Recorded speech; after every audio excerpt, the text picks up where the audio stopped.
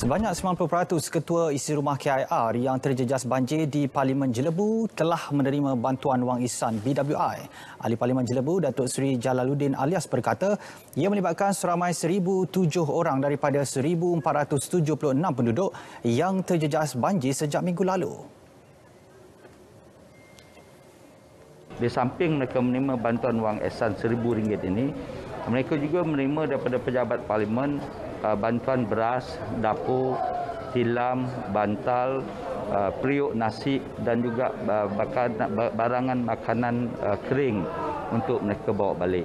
Kesemuanya ini adalah kerana supaya dapat sedikit sedikit membantu mereka supaya dapat kembali menjalani kehidupan seharian mereka seperti biasa. Beliau berkata demikian ketika ditemui di Jelebu.